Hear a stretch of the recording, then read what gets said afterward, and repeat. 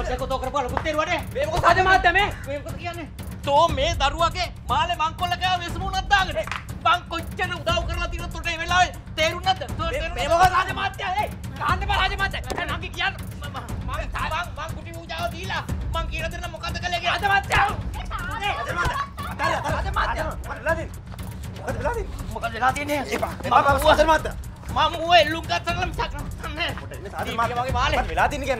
කෙල්ලගේ මාලේ මොන මාරයක්ද තාත්තේ මාලේ තියෙනවා.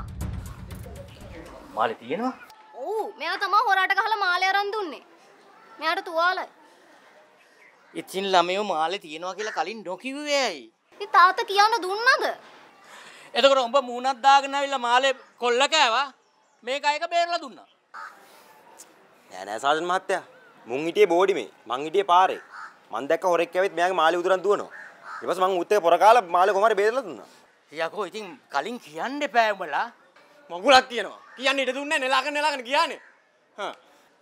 දැන් එතකොට උඹලා මේ හොරකමට කොහෙත්ම සම්බන්ධ නැහැනේ?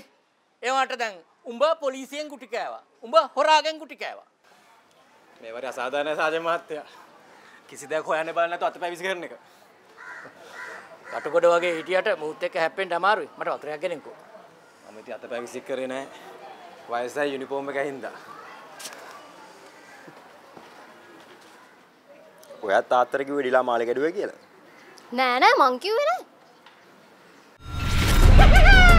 සර්කස් කාරයෝ